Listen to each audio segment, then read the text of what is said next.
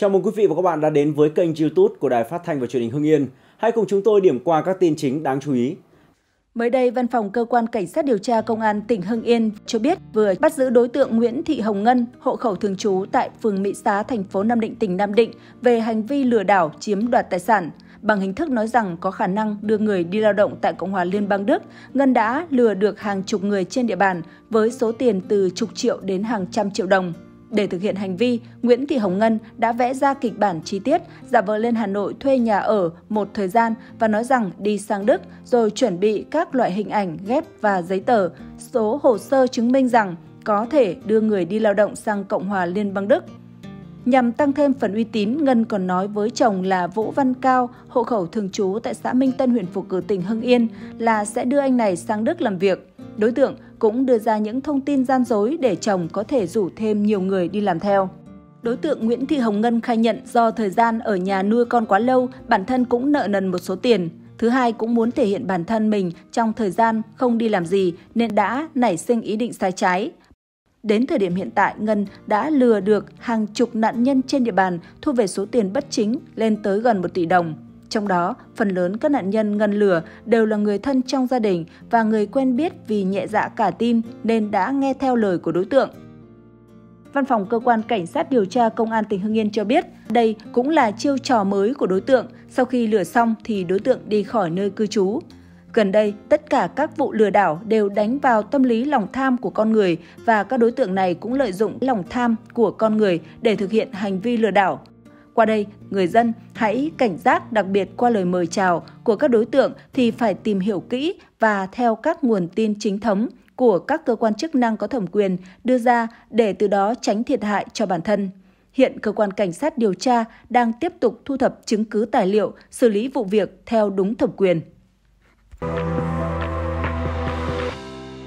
Công an quận Hai Bà Trưng, Hà Nội vừa triệt phá đường dây vận chuyển mua bán trái phép chất ma túy, bắt giữ 5 đối tượng và thu giữ 15.000 viên ma túy tổng hợp. Trước đó, qua công tác nắm bắt tình hình địa bàn, Công an quận Hai Bà Trưng phát hiện đường dây vận chuyển mua bán trái phép chất ma túy số lượng lớn từ thành phố Hồ Chí Minh ra Hà Nội để tiêu thụ. Lúc 1 giờ 45 phút ngày 7 tháng 8, tại khu vực đường trên cao vành đai 3 khuất Duy Tiến, đoạn thuộc phường Thanh Xuân Trung, quận Thanh Xuân, đội cảnh sát điều tra tội phạm về ma túy công an quận Hai Bà Trưng phối hợp với công an phường Thanh Lương bắt giữ Trịnh Đức Chính sinh năm 2000, trú tại xã Nghĩa Tâm, huyện Văn Chấn, tỉnh Yên Bái, thu giữ hơn 15.000 viên ma túy tổng hợp. Chính khai nhận số ma túy tổng hợp trên vận chuyển thuê từ thành phố Hồ Chí Minh ra Hà Nội cho Phí Văn Việt sinh năm 1990, trú tại trung cư Imperia Garden số 203 Nguyễn Huy Tưởng, Thanh Xuân Trung, Thanh Xuân Hà Nội. Tổ công tác đã đưa chính cùng tăng vật về trụ sở để kiểm tra làm rõ. Tiến hành khám xét nơi ở của Phí Văn Việt, Công an quận Hai Bà Trưng phát hiện bắt giữ 3 đồng phạm gồm Nguyễn Việt Giang sinh năm 1994, trú tại ngõ 74 Tân Triều, Thanh Trì, thành phố Hà Nội, Hà Văn Quý sinh năm 2003, trú tại trung cư Imperia Garden số 203, Nguyễn Huy Tưởng, phường Thanh Xuân, quận Thanh Xuân, Hà Nội, Nguyễn Văn Mạnh sinh năm 1991, trú tại trung cư Empria Garden số 203, Nguyễn Huy Tưởng, Thanh Xuân Trung, Thanh Xuân, Hà Nội. Kết quả giám định số tăng vật thu được là hơn 6,86 kg MDMA. Hiện Công an quận Hai Bà Trưng đang phối hợp với Phòng Cảnh sát điều tra tội phạm về ma túy Công an thành phố củng cố hồ sơ xử lý các đối tượng theo quy định.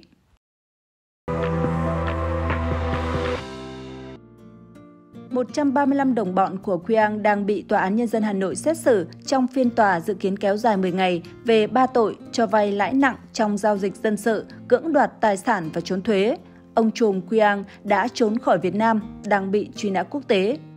Cơ quan Cảnh sát điều tra xác định từ năm 2021 đến năm 2022, Li Yang Quyang đã điều hành các công ty cho vay qua các app tổng số 120.780 khách với số tiền hơn 1.607 tỷ đồng, thu lợi bất chính khoảng hơn 732 tỷ đồng. Theo cáo buộc, Li Yao Qiang sinh năm 1988, quốc tịch Trung Quốc, cầm đầu đường dây cho vay nặng lãi đòi nợ kiểu xã hội đen. Li Yao Qiang được xác định là đối tượng chủ mưu cầm đầu tạo lập các app CashVN, Vay Nhanh Pro, Ovay để cho khách là người Việt Nam vay với lãi suất cao từ 1.570% đến 2.190% trên năm. Khi khách hàng đến hạn không trả, Li Yao Qiang chỉ đạo các đối tượng khác thực hiện đòi nợ. Cơ quan điều tra xác định từ năm 2021 đến năm 2022, Li Yaoqiang đã điều hành các công ty cho vay qua các app tổng số 120.780 khách với số tiền hơn 1.607 tỷ đồng, thu lợi bất chính khoảng hơn 732 tỷ đồng. Có 31 khách hàng đã trở thành người bị hại trong vụ án khi họ bị các nhân viên bộ phận truy nợ của Li Yaoqiang thực hiện hành vi cưỡng đoạt tài sản với tổng số tiền hơn 218 triệu đồng. Cáo buộc thể hiện Jiang Minmin sinh năm 1986, quốc tịch Trung Quốc, được giao nhiệm vụ quản lý trực tiếp chỉ đạo bộ phận nhắc và truy nợ tại các công ty của Li Yaoqiang. Jiang Min giao cho Nghiêm Đức Giang phụ trách bộ phận truy thu đòi nợ. Hàng ngày các nhóm trưởng như Giang phải gửi báo cáo bằng văn bản kết quả thu nợ để Giang Min quản lý đôn đốc. Khách vay nợ được chia thành 5 cấp độ khác nhau, nhóm truy thu đòi nợ sẽ gọi điện cho khách để nhắc trả nợ đúng hạn – nếu không trả nợ đúng hạn, nhóm đối tượng Yang Min quản lý sẽ gọi điện tăng dần số lần nhắc nợ, gọi điện người thân, quen của khách. Trường hợp khách tiếp tục không trả, nhóm của Giang Min sẽ gọi điện đe dọa chửi bới khách, cắt ghép ảnh gửi cho khách và người thân của khách buộc khách phải trả tiền.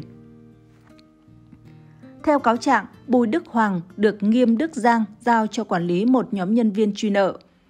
Hoàng bắt đầu và làm việc tại công ty Metac từ năm 2019. Ngay sau khi mới vào làm, Hoàng được Giang huấn luyện cách thức đòi nợ. Theo đó, nếu khách hàng không chịu trả nợ, Hoàng sẽ cắt ghép hình ảnh rồi gửi cho khách để đe dọa. Nếu khách vẫn không trả tiền thì sẽ gửi các hình ảnh đó cho người thân của khách hoặc đăng lên mạng xã hội nhằm ép buộc khách phải trả tiền.